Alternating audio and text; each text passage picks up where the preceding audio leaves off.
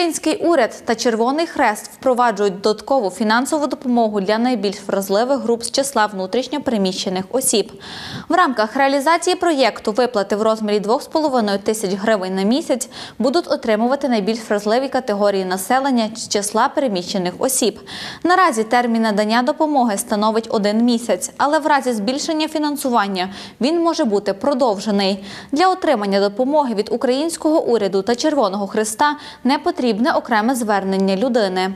Також виплати будуть отримані незалежно від того, чи внутрішньо переміщена особа вже оформила інші види фінансової допомоги. Ці кошти будуть враховані під час обчислення сукупного доходу домогосподарства для отримання соціальної допомоги і не будуть оподатковуватися.